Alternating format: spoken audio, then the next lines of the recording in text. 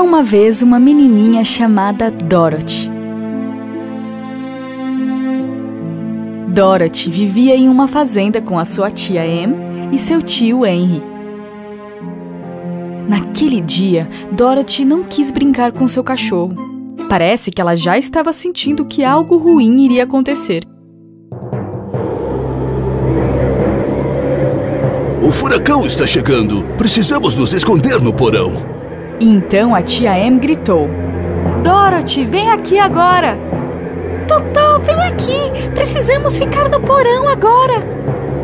Dorothy então teve que entrar debaixo da cama para pegar o Totó, e foi naquele momento que a fazenda começou a chacoalhar. Então a casa começou a girar como uma espiral. A pequena menina tentava se segurar em alguma coisa e ao mesmo tempo tentava pegar o seu cachorro. E ela estava quase saindo pelos ares quando finalmente conseguiu pegá-lo. Ela não conseguia ver quase nada, apenas o céu e as nuvens. E naquele momento percebeu que estava subindo para o céu. Ela e a casa giravam tão rápido que começou a ficar entorpecida e com muito sono e então acabou adormecendo. Dorothy acordou com um grande estouro e a cama pulou tão alto que fez a menininha cair no chão. Ela então percebeu que a fazenda não estava mais girando. O sol brilhava através da janela, o que a fez perceber que estava finalmente no chão. Ela correu para fora e não conseguia acreditar no que via. Estava de queixo caído. Havia campos de flores até onde os olhos podiam ver. Então, de repente, Dorothy viu uns homens pequenininhos correndo em sua direção. Os homens tinham chapéus em forma de cone e os pequeninos sinos em cima dos chapéus estavam tocando. Também tinham uniformes azuis e todos eles tinham barbas muito longas. Quando os homenzinhos chegaram perto de Dorothy, apareceu uma pequena senhora com um vestido branco. Oh, maga poderosa, seja bem-vinda! Eu sou a bruxa do Bom Coração do Norte e esses são os meus amigos, os anões.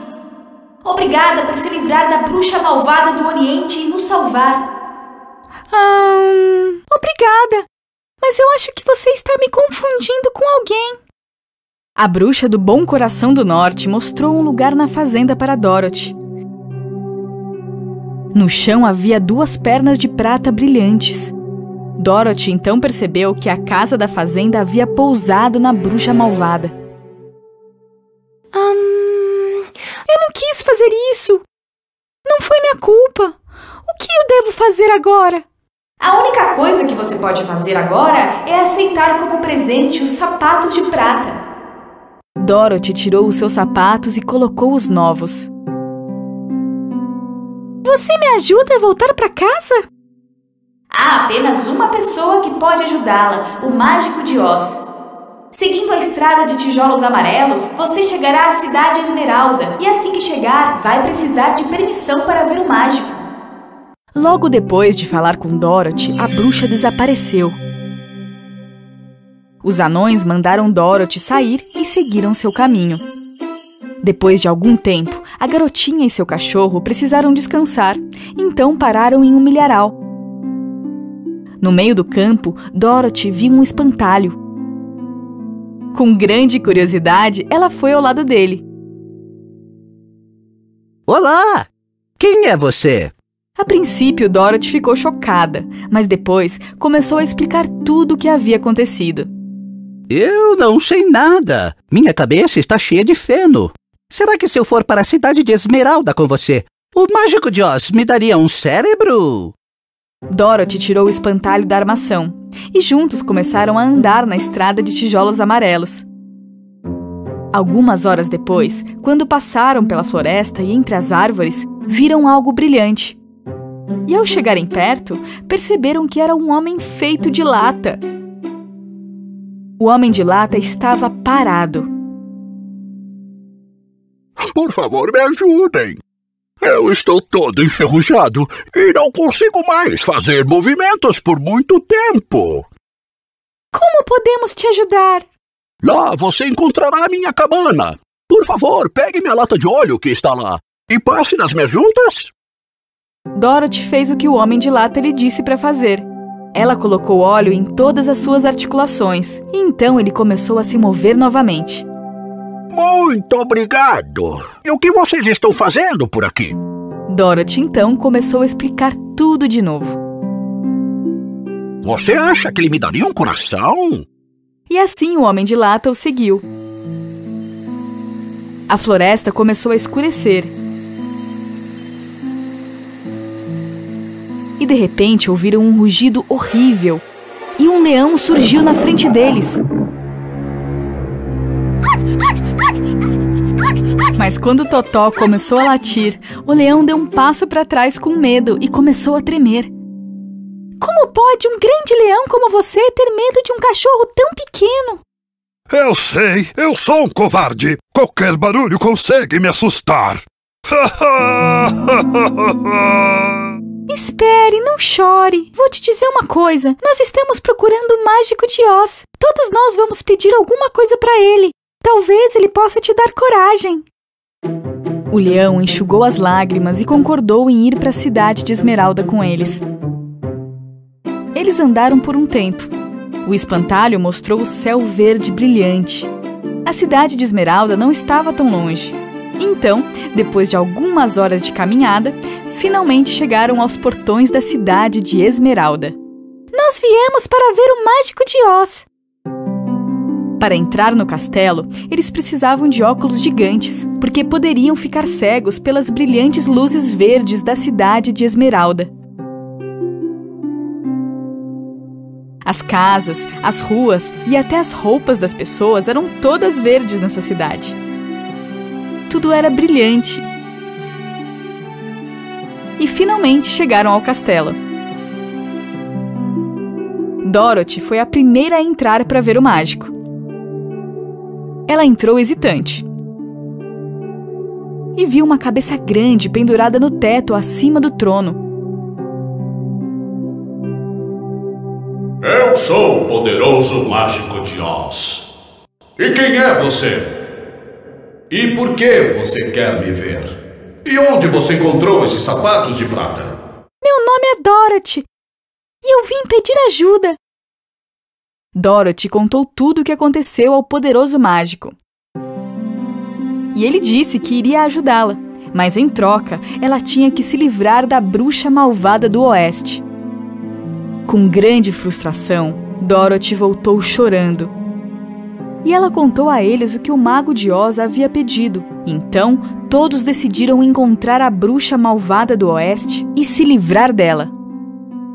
Na manhã seguinte, eles deixaram a cidade de Esmeralda e começaram sua jornada para o castelo da bruxa malvada do Oeste. A bruxa tinha apenas um olho, mas ela podia ver de muito longe. Quando ela viu que Dorothy e seus amigos estavam se aproximando do castelo, ela chamou as abelhas gigantes. Pique esses intrusos!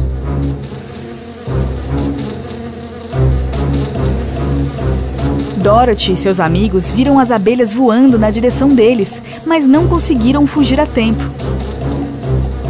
Espantalho! Cobra Dorothy, Totó e o leão com seu feno, para que as abelhas não possam picá-los. Quando o espantalho os cobriu com o feno, todas as abelhas tentaram picar o homem de lata. Mas claro, elas perderam os seus ferrões e caíram no chão. Então, desta vez, a bruxa mandou seus macacos para caçar Dorothy e seus amigos. E assim, os macacos foram atacá-los. Um deles pegou o espantalho e jogou em uma árvore. O outro jogou o homem de lata sobre um penhasco. Eles também amarraram o leão para levar para a bruxa. E depois, todos os macacos voadores se voltaram para Dorothy. Mas uma vez que viram os sapatos prateados em seus pés, não quiseram machucá-la e a levaram para o castelo. Quando a bruxa má do oeste viu os sapatos prateados nos pés de Dorothy, ela ficou com muito medo, mas ela também percebeu que Dorothy não estava ciente do poder de seus sapatos. Me dê esses sapatos agora! Não dou! Eu disse me dê! A bruxa então foi em direção a Dorothy.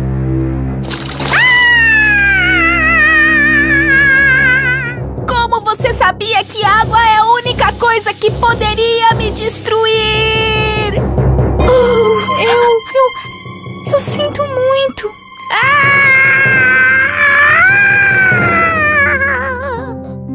Enquanto ela gritava, a bruxa se derreteu. Apenas as roupas dela permaneciam no chão. Dorothy primeiro salvou o leão da gaiola em que estava preso. Depois encontraram o espantalho e então o homem de lata. Eles então voltaram para a cidade de Esmeralda, dizendo que haviam se livrado da bruxa maligna do oeste e queriam ver o mágico de Oz. O poderoso mágico recebeu todos juntos. E quando eles entraram na sala do trono, ouviram um som alto e ensurdecedor.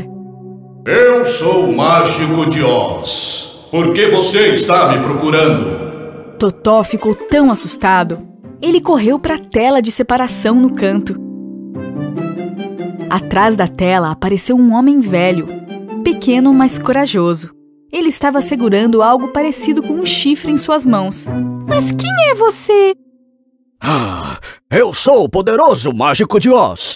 Mas como você pode ser o poderoso mágico de Oz? O velho decidiu explicar sua história. Na verdade, ele estava trabalhando em um circo. Ele costumava fazer shows com o balão de ar quente.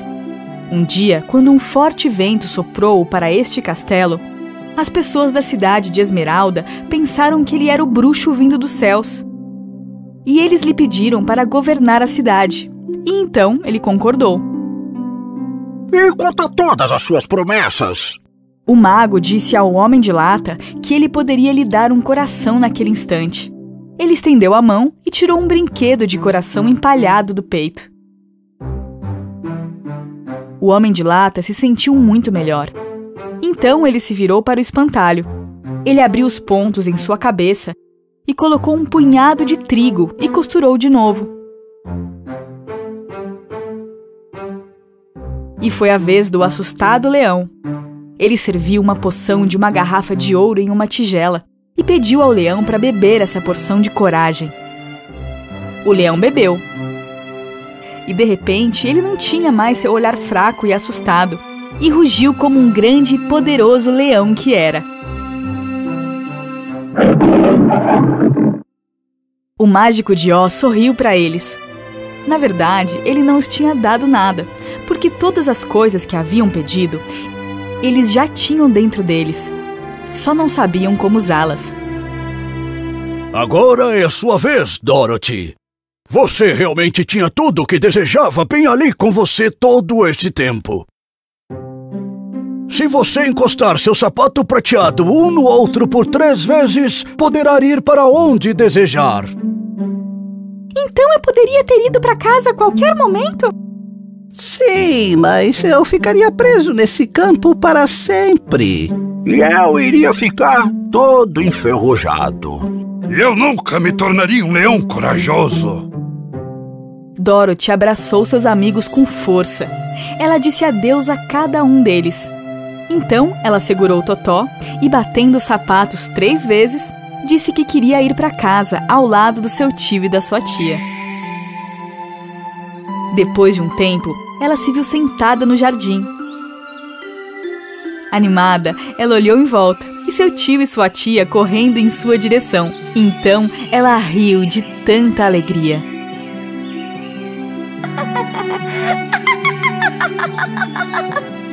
Olhe, Totó, estamos em casa.